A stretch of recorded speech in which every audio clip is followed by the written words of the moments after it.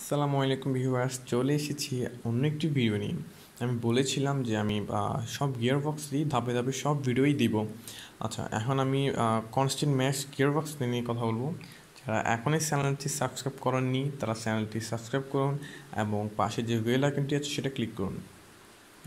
পূর্ববর্তী যে ভিডিও ছিল স্লাইডিং ম্যাচ গিয়ার বক্স সেই জায়গায় আমি একটা কথা বলতে ভুলে গিয়েছিলাম যে এই স্লাইডিং ম্যাচ গিয়ার বক্সের মাধ্যমে বিভিন্ন পিনিয়নের মাধ্যমে কাজ করে। অর্থাৎ পিনিয়ন ছোট বড় হয়ে আপনার শক্তিগুলো কম বেশির মাধ্যমে স্থানান্তরিত করে।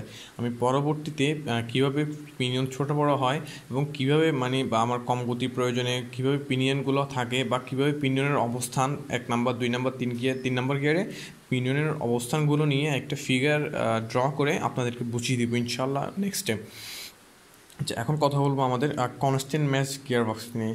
সেমভাবেই এখানে তিনটে শ্যাফট থাকবে ইঞ্জিন শ্যাফট এটা হচ্ছে আপনার ইঞ্জিন শ্যাফট অথবা ক্লাস শ্যাফট কাউন্টার শ্যাফট এবং আউটপুট শ্যাফট ওকে এখানে আপনার ইঞ্জিন শ্যাফটের সাথে আপনার যে ড্রাইভ গিয়ার রয়েছে, এই ড্রাইভ গিয়ারটি অলওয়েজ ঢালাই করা অবস্থায় থাকবে এবং কাউন্টার শ্যাফটের যে গিয়ারগুলো রয়েছে, ওই গিয়ারগুলো আপনার ঢালাই করা অবস্থায় থাকবে। আচ্ছা তাহলে আপনার কাউন্টার শ্যাফটের ফার্স্ট গিয়ারটি আপনার ড্রাইভ গিয়ারের ফার্স্ট গিয়ারের সাথে অলওয়েজ ম্যাশ করা থাকবে।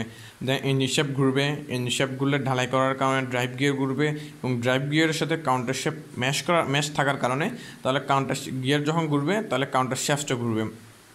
ওকে কারণ কাউন্টার শ্যাফটের সাথে আপনার সব গিয়ারগুলোই ঢালাই করে প্রস্তুত অর্থাৎ একটা গিয়ার যখন আপনার ড্রাইভ গিয়ার এই গিয়ারটা ঘুরবে কাউন্টার গিয়ারটা ঘুরবে, তাহলে এই গিয়ারগুলো ঘুরতেছে। ওকে তাহলে এই গিয়ারগুলোর সাথে আবার আপনার যেই আউটপুট শেপটের যে গিয়ার রয়েছে ড্রিভেন গিয়ার এই ড্রিভেনগুলো ড্রিভেন গিয়ারগুলো অলওয়েজ ম্যাশ অপসে থাকবে। অর্থাৎ এই গিয়ারগুলো যখন ঘুরবে, তখন ড্রিভেন গিয়ারগুলো ঘুরবে। তখন আপনার এই ড্রিভেন গিয়ার যেগুলো আছে সবগুলো ঘুরলো, ঘোরার ফলে এই- আবার এখানে আউটপুট শ্যাফটের মধ্যে আপনার বেয়ারিং থাকবে। বেয়ারিংয়ের উপরে এই ড্রিভেন গিয়ারগুলো আপনার সংযুক্ত করা থাকবে। অর্থাৎ আপনার গিয়ারটা ঘোরার ফলেও কিন্তু আপনার আউটপুট শ্যাফটটা ঘুরবে না। অর্থাৎ বেয়ারিংয়ের উপরেই গিয়ারগুলো ঘুরতে থাকবে।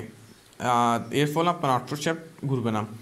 এখানে আপনার এক্সট্রা করে ডক ক্লাচ ডক ক্লাচ লাগানো রয়েছে এবং এই ডক ক্লাচটা আপনার খাঁচ কাটা রয়েছে আউটপুট শ্যাফটের মধ্যে। অর্থাৎ আউটপুট শ্যাফটের মাধ্যমে আউটপুট শ্যাফটের মধ্যে এই ডক ক্লাচটা স্লাইড করা যাবে এবং এই ডক ক্লাচটা যদি আপনার এই গিয়ারের সাথে ম্যাশ হয়, তাহলেই আউটপুট শ্যাফটটা ঘুরবে। এই আউটপুট শ্যাফটটা আপনার আউটপুট শ্যাফটের সাথে যে ডক ক্লাসটা রয়েছে, এই ডক ক্লাসটা ম্যাশ করা অবস্থায় আছে।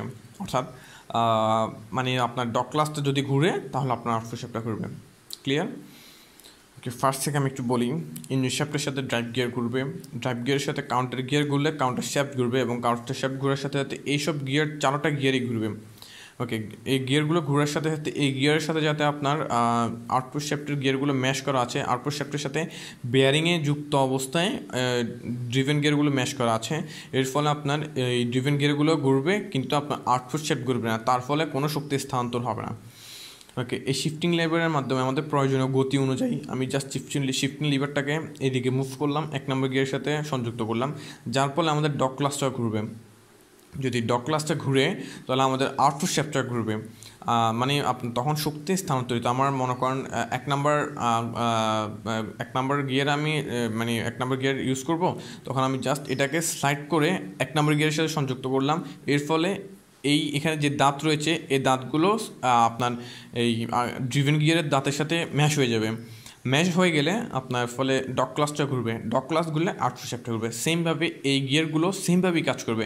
আমার যখন দুই নাম্বার গিয়ার দরকার হবে, আমি জাস্ট এটাকে টান দিব। টান দিয়ে এই খাঁজগুলোর সাথে ডক ক্লাসের যে খাঁজ রয়েছে, এগুলো জাস্ট ম্যাশ হয়ে যাবে।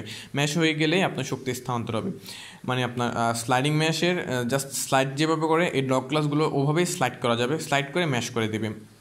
এখানে এখানে সেমভাবে আপনার পিনিয়ন ছোটো বড়ো করার মাধ্যমেই আপনার শক্তি কম বেশি হবে। আশা করছি ভিডিওটির মাধ্যমে, দেখার মাধ্যমে আপনি সব কিছুই আপনার বুঝে যাবেন। আসলে আমি ভিডিওগুলো তৈরি করছি, আমি যেভাবে বুঝেছি মানে আমার যেভাবে বুঝতে ইজি হয়েছে, আমি ওভাবেই বুঝেছি মানে আপনাদেরকে বোঝাতে বোঝাতে চেষ্টা করছি। আশা করছি ভিডিও- ভিডিওটি দেখার পর আপনি বুঝবেন। যদি কোনো মানে না বুঝে থাকেন বা কীভাবে বা বুঝালে মানে ইজি হবে আপনার জন্য, অবশ্যই আমাকে জানাবেন। ধন্যবাদ।